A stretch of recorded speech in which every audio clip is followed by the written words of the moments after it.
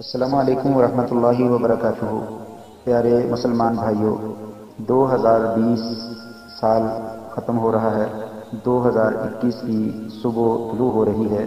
ये सालों का गुजरना और नए साल का तुलू होना, इसी तरीके से महीनों का शुरू होना और ख़त्म हो जाना, हफ्तों का शुरू होना और ख़त्म हो जाना, दिन और रात का शुरू होना और ख़त्म हो जाना। घंटे शुरू होते हैं, फिर ख़त्म हो जाते हैं। मिनट शुरू होते हैं, फिर ख़त्म हो जाते हैं। ये सारी चीज़ें हमें ख़ास पैगाम दे रही हैं कि आपकी ज़िंदगी शुरू हो चुकी है और वो अपने अख्ताम की तरफ़ जा रही है। लिहाजा अपने माजी का मुहासबा कर लीजिए और अपने मुस्तबिल को बेहतर बना लीजिए। हमें देखना चाहिए कि गुजशत ज़िंदगी में हमने क्या खोया और क्या पाया। अगर अच्छे काम किए हैं तो अल्लाह का शुक्र अदा करना चाहिए और उसकी हिफाजत करनी चाहिए। अगर कोई गलत काम किए हैं तो अल्लाह के हजूर तोबा करनी चाहिए और मुआफ़ी मांग लेनी चाहिए। यकीनन अल्लाह तबारक व ताली अपने बंदों को मुआफ़ करने वाला है। लिहाजा अपनी सबका ज़िंदगी का मुहासबा ज़रूर करें, क्योंकि आज हमारी ज़िंदगी अपने अख्ताम की तरफ़ बड़ी तेज़ी के साथ रवा दवा है। ये 2020 का ख़त्म होना हमें ये झंझोड़ झंझोड़ कर मैसेज दे रहा है। लिहाजा अपने माजी को दुरुस्त कर लीजिए और अपने मुस्तबिल की हिफाजत कर लीजिए। अल्लाह तबारक व ताली हमारी दुनिया भी बेहतर बना दे, हमारी आखिरत भी बेहतर बना दे।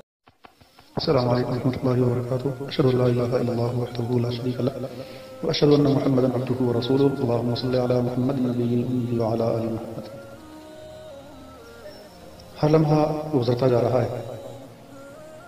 घंटे दिनों में, दिन हफ्तों में हफ़्ते महीनों में और महीने सालों में तब्दील हो जाते हैं।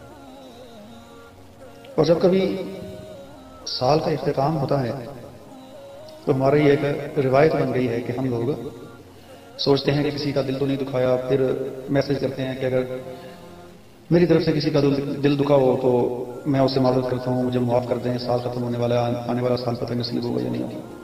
ये सारी एक फॉर्मेलिटी है। दीन इस्लाम हमें साल भर अपना मुहासबा करने का नहीं कहता।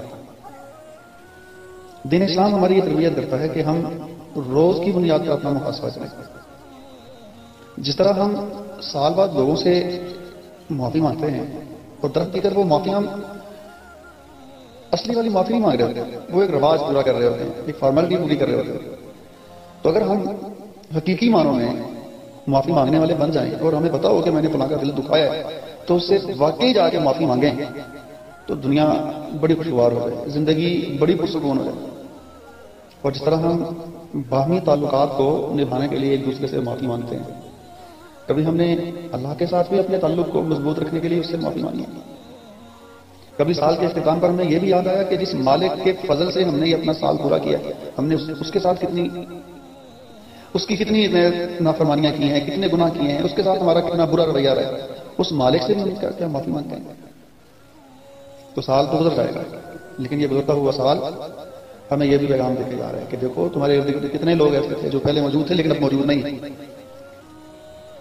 तो ज़िंदगी का कोई पता नहीं है कि कब शाम हो जाए। और उसके बाद हमारा नाम लेने वाला बाकी न रहे। तो साल बाद माफ़ी नहीं मांगनी, बल्कि रोज की बुनियाद पर अपनी इसलाह करनी है। और सिर्फ़ लोगों से नहीं मांगनी माफ़ी। लोगों को पैदा करने वाले और वक्त और मोहलत देने वाले मालिक से भी माफ़ी मांगनी है, ताकि दुनिया की ज़िंदगी के साथ साथ आखिरत की ज़िंदगी में भी सुरक्षित हो सके। कि क्या नए साल का जश्न मनाना जायज़ है? गुजारिश है कि नहीं इस वजह से कि कायनात के ईमान सल्लल्लाहु अलैहि वसल्लम ने इरशाद फरमाया मन तशब्बह बिकौमिन फहुव जिसने किसी कौम की मुशाबत इख्तियार की उन्हीं में से हो गया। तो नए साल का जश्न मनाना ये गैर मुस्लिमों का तरीका है। इस्लाम में इसकी गुंजाइश नहीं है। तो फिर एक और चीज़ है और वो ये कि नबी करीम सल्लल्लाहु अलैहि वसल्लम का फरमान है, कुन फिर दुनिया का अन्ना का गरीब। दुनिया में ऐसे रहो जैसे मुसाफिर रहते हैं। तो मुसाफिर जो है ना, वो जश्न नहीं मनाया करते। फिर नबी सलाम का फरमान है, दुनिया मजरातुल आखिरत। दुनिया आखिरत की खेती है। हमें इस दुनिया में रहते हुए अपनी आखरत की फ़िक्र करनी है। जश्नों में अपनी ज़िंदगी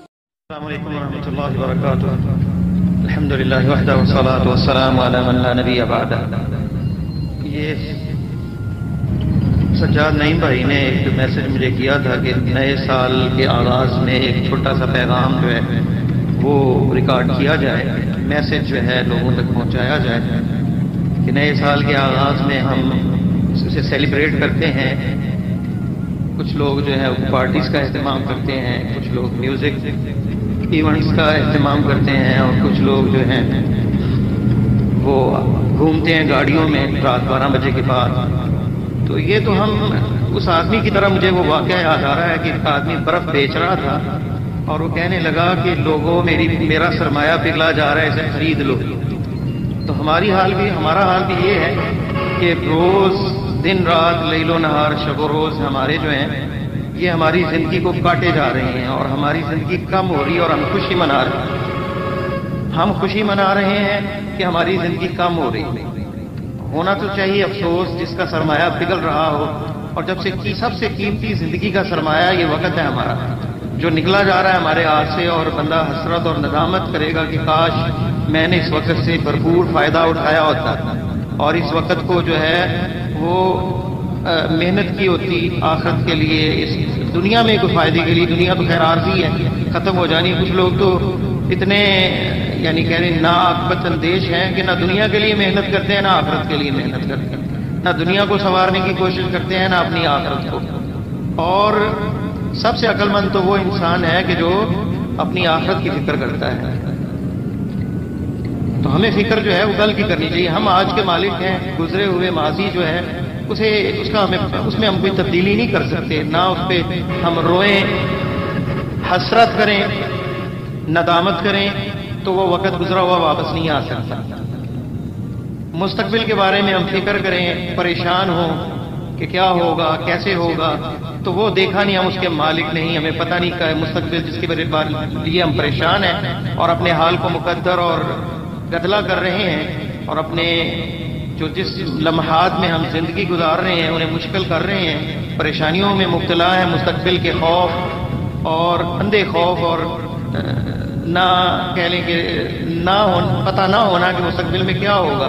जिसका मालिक ही नहीं है, हमें तो ये नहीं पता कि कल तक ज़िंदगी है या नहीं। तो अपने हाल को बेहतर करें इसके हम मालिक हैं। अपना जो अपना जो हाल है जिसमें हम रह रहे हैं, इसको बेहतरीन करें। इसको भरपूर तरीके से जो है, आप गुजारें। एक बहुत बड़ा कालिमिस्ट था यूरोप का, जिसका बहुत से मुजल्लों में इंटरव्यू भी आया और उसने पता नहीं कितने मुजल्लात और रसायल में वीकली और मंथली जो रसाले हैं उनमें उनके कालिम चलते थे।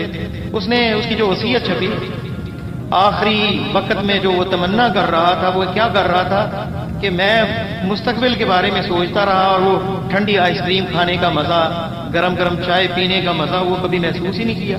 क्योंकि हमारी फिक्रें या मुस्तकबिल में घूम रही होती हैं, या माजी के अंधेरों के अंदर वो परेशानियाँ और वो पुराने जो मुश्किल के वक्त गुजरे होते हैं उनकी कठिन यादें जो है, हमें जो है वो कर्म में मुबतला कर देती हैं। और हाल के जो मज़े और जो नेमतें हैं और जो बेहतरीन चीज़ें हैं, उनसे हम मायूस हो चुके होते हैं, उन्हें भूल जाते हैं। तो उसकी कदर और एहसास उस वक्त होता है जब नियमतें छिन जाती हैं। इसलिए प्यारे हबीब वसल्लम का फरमान है, सही बुखारी में हदीस है नमता मकबून उनकी हिमा कसीर मिनन्नास सेहत वल फराग दो ऐसी नियमतें इंसान बहुत से खसारे में और धोखे में है पता तब चलता है उसका जब वो छिन जाती हैं। और वो कौन सी दो नेमतें हैं? सेहत है और फारेगुल बाली वक्त का होना। सेहत से बंदा भरपूर फ़ायदा नहीं उठाता। सेहत जो है बर्बाद कर लेता है पैसे कमाने के लिए। और फिर वो सेहत को वापस लौटाने के लिए फिर वो पैसे जो कमाए हैं वो बर्बाद कर देता है। तो वक्त जो है उसे अल्लाह की राह में खर्च किया जाए। ये एक एक वक्त कीमती है। बंदा हसरत करेगा, क्यामत के रोज जो है कि उसे एक मिनट मिल जाए कि वो अल्लाह का नाम ले सके, अल्लाह का ज़िक्र कर सके। अलामा कुर्तबी रहमा ने अपनी किताब अहवालखरा अहवालखरा में ज़िक्र किया है कि एक आदमी कब्रस्तान के पास से गुजरा और सो गया उसके ख्वाब में मुर्दे आए और वो चीख रहे थे कि हम तो इस वक्त की कदर ना कर सके हमारे तो उसने दो रकत नमाज़ पढ़ी थी और फिर वो लेटा था सोने के लिए किसी दरख्त के साय में उन्होंने कहा कि जो तुमने दो रकत पढ़ी है नमाज़ हमारे लिए दुनिया और जो कुछ उसमें उससे ही अफजल और बेहतर है और तुम गफलत की नींद सो रहे हो तो बात यही है कि हम, हमें, हमारी आँखें उस वक्त खुलेंगी जब मौत सामने हो। तो इस वक्त की कदर करनी चाहिए, इसको वक्त गुजरने पे और नए साल आने पे खुशियाँ नहीं मनानी चाहिए, बल्कि प्लानिंग करनी चाहिए कि इस साल मैंने क्या करना है। रमज़ान के रोज़े रखने हैं, हर महीने तीन रोज़े रखने हैं, इशराक की नमाज़ नहीं छोड़नी। गरीब लोगों के काम आना है, अपने रिश्तेदारों के साथ सिला रहनी फला फला से मुलाकात करनी है, फला लोगों को जो है वो दावत देनी है तो अपनी प्लानिंग करें मुस्तबिल के लिए, अपने कारोबार के लिए, अपनी आखरत के लिए, अपने रिलेशन के लिए, अपने माशरती ताल्लुक को बेहतर बनाने के लिए, अपने अखलाक को संवारने के लिए, अपनी तालीम को बेहतर बनाने के लिए, अपने एजुकेशनल पर प्लानिंग करें कि ये सीखना है और ये करना है, वक्त को ज़ाया नहीं करना, बहुत हो गया वक्त ज़ाया। तो ये हमें चाहिए और ये छोटा सा एक पैगाम है कि अल्लाह ताला से दुआ है कि हमारा वक्त अल्लाह ताला अपने ज़िक्र से मामूर फरमाए और दूसरों के काम आना, दूसरों के लिए भलाई का सोचना। जैसे नबी इस्लाम ने फरमाया तुम्हें बेहतरीन वो है जो लोगों के लिए नफेमंद है, लोगों को जो फ़ायदा पहुंचाता है। तो अल्लाह ताला हमें भी लोगों के लिए मुफीद बनाए और हमारी आखरत सवारे और खात्मा ईमान पर फरमाए। अल्लाह तालम मोहम्मद साल भी शुरू होता है और इस्लामी महीने से शुरू होता है। यहाँ ये तो अंग्रेज़ों के साथ है वैसे भाई की ने कहा है तो मैं दो अल्फाज बोल देता हूँ कि लोग, आजकल के लोग समझते हैं कि बादशाह कामयाब हो गए। अमीर लोग जिनके पास दौलत है, वो कामयाब हो गए। आला अहदों वाले कामयाब हो गए। जबकि अल्लाह ताला कहता है कि कदा फलाल मोमिन के बेशक ईमान वाले मोमिन कामयाब हो गए। और हम आजकल कामयाबी तलाश कर रहे हैं। कोई कहता है, मुझे कामयाबी नहीं मिलती। कोई कह रहा है कि, मैं जनाब बड़ा बनना चाहता हूँ, लेकिन वो मुझे मिल नहीं रहा। लेकिन मुआजम पाँच वक्त अजान में कहता है, आवाज़ लगाता है अयाल फला आओ कामयाबी की तरफ़। तो वो हम कामयाबी लेने के लिए तैयार नहीं, जो अल्लाह ताला हमें देना चाहता है। तो यही मैं कहना चाहूँगा कि हमें जो चीज़ें मिल रही हैं, जो हम ढूंढ रहे हैं, वो हमें मिल नहीं रही। और जो हमारे सामने है, वो हमें लेना नहीं चाहते, जो इजी है, आसान है, अल्लाह की तरफ़ से।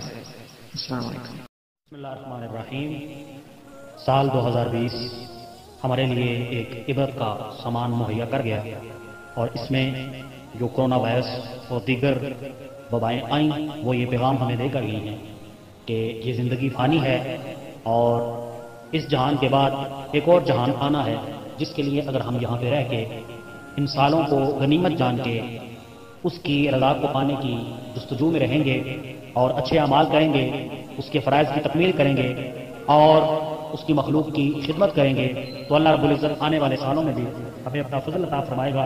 दुआ ये करनी है कि जिस तरह इस साल अल्लाह रबुल्ज़त की तरफ़ से हमारी गलतियों के इवज और हमारे गुनाहों के इवज जो एक वबा आई हुई थी आने वाले साल में अल्लाह ऐसी वबा से पूरे आलम इस्लाम को महफूज व मामून फरमाए और आने वाले साल में हमें ज़्यादा से ज़्यादा अपना और अपने महबूब का नाम लेकर दीन की तबलीग, दीन का काम और दीन की खिदमत सर अंजाम देने की तोफ़ी अता फरमाए। आने वाले सालों में इरादा ये रखें क्योंकि आका करीम इस्लाम का फरमान आलिशान है।